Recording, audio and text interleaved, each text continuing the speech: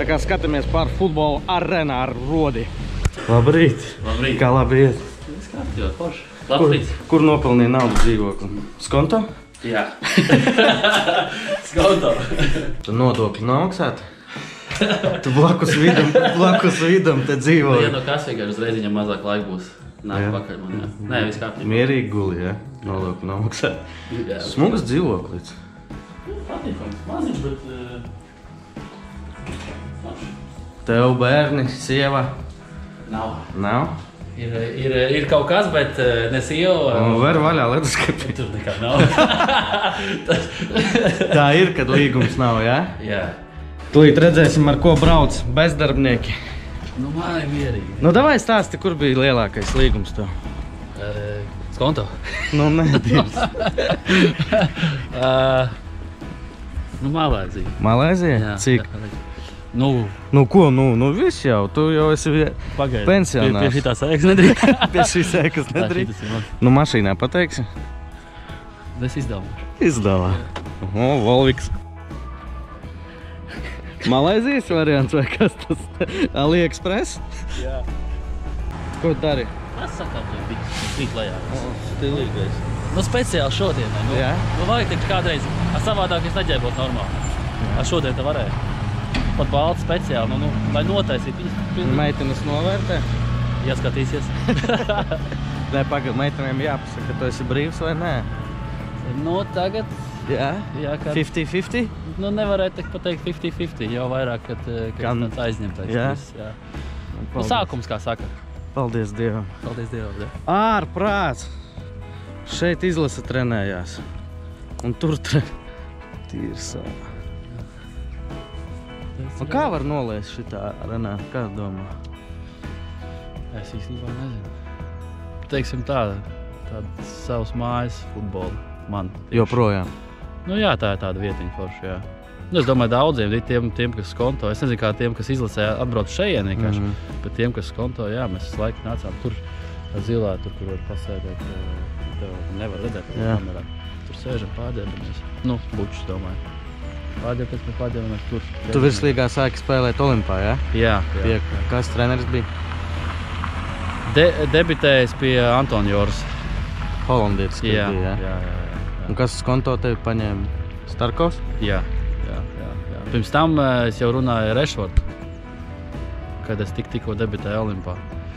Bet tad man kaut kādīgi nepatika piedāvājums vēl kaut kas. Tad, kad atnāca Starkovs, tad teikt, Bišķi labāks piedāvājums bija, bet tas bija Starkovs un attiecīgi. Jā, tieši, tieši tā būtu labāk pierādījis. Jā. Būtu sēdējis, jo man piedāvāja, es parakstīju uz divu pusmais gadiem. Un reāli nu, tas ir ilgs laiks. Treneris mainās. Viss kaut kas var notikt. Un, un, un man vajadzēja reāli sēdēt, aiztaisīt mutu tajā brīdī. Nu, strādāt. Strādāt. Es neteiktu, ka es tur nezinu, vājš bija vēl kaut ko. Es vājš biju galvā. Un tas bija tā. Un uh, gaidīt savu iespēju. Un galvenais, ka man pēc tam mācība bija tā, ka es, es jau pateicu trenerim, ka viss es negribu šeit būt. Tā arī bija nepareizi, ka es vēl pateicu, negribu šeit būt. Jā. Es meklēšu citu klubu. Un uh, es pēc tam skatos. Vienam četras zeltainās.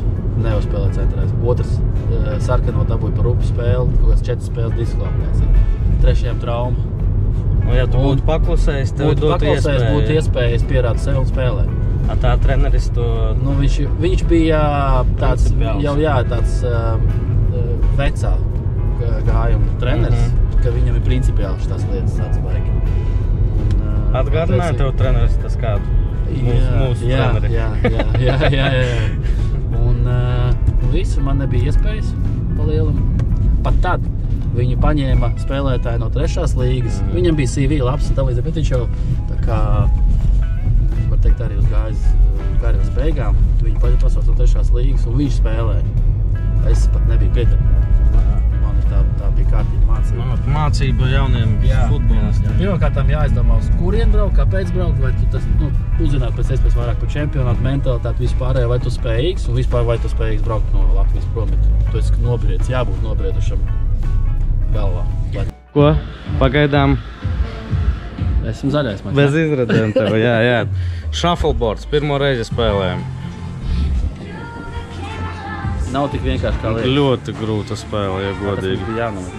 Jā, labi, vienalga abas noņem. Klausies, tu Nu, sanāk, tu spēlēji trijos kontinentos? jā, A nebija doma nospēlēt tā, ka visos bija doma. tam bija piedāvājumi?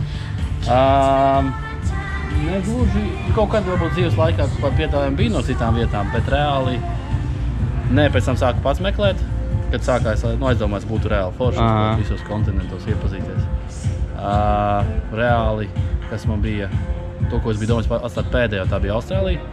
Ja es nebūtu vilcinājies šeit ar visiem tiem lēmumiem, kas man te bija un valdīja, un laicīgi jau būtu domājis par piemēram kaut vai Austrāliju, tad es visdrīzāk būtu aizbraucis turien.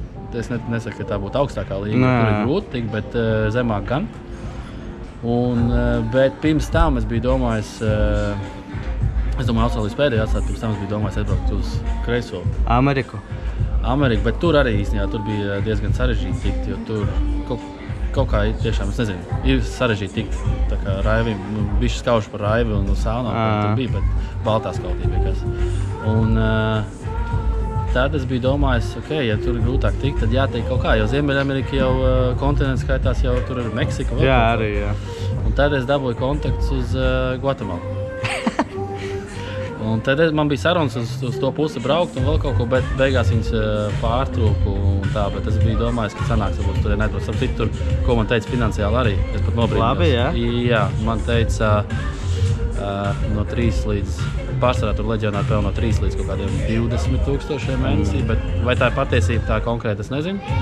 Jo līdz tādām lietām mums neaizgāja. Bet nu, pa, iepazīstināja visu to. Būtu interesanti, protams. Protams. Nu, davai. Plus man brīdināja to, ka tavs prezidents varētu būt narkotīvs. Tā kā es aizdomājos, ah, ja es savos vārtos iesīšu, tad man